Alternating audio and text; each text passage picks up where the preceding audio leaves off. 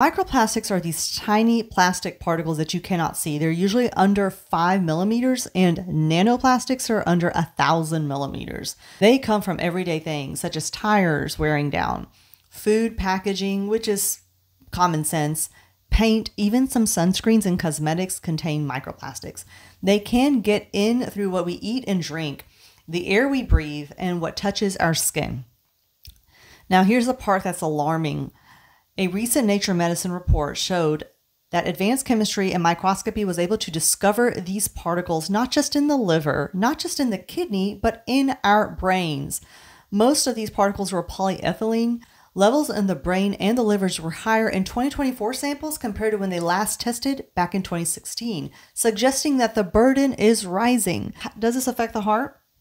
Another study in the New England Journal of Medicine looked at plaque from carotid arteries, and people with detectable plastics in their carotid arteries were found to have a higher risk of stroke, heart attacks, and death during the follow up period.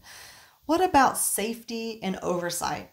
So, the US FDA evaluates products that use nanomaterials, such as like cosmetics and sunscreen.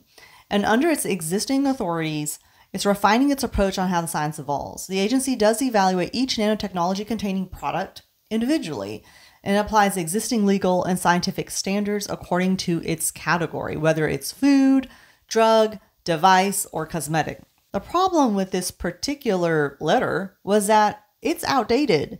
This was last updated in 2018, and we've had a load of more nanoparticles and microplastics introduced into our environment. So, what can we do right now? Consider how much plastic you use on a daily basis. Think about your drinking water. Think about your vacuum, whether or not it has a HEPA filter. And when it comes to eating out, try to take used utensils with you or ask for biodegradable products. Be careful with your sunscreen and skincare. You've got to wear sunscreen to help prevent skin cancer and other forms of skin damage. Here's a disclaimer human studies show presence and associations, not causation. That means that we still lack strong and vigorous data to show that ingesting microplastics or uh, utilizing a certain habit leads to the microplastic development in our bodies later on, which can cause an increase in heart attack, strokes, and death. If you like this content, give me a thumbs up. Subscribe. I'm here to make the medicine make sense.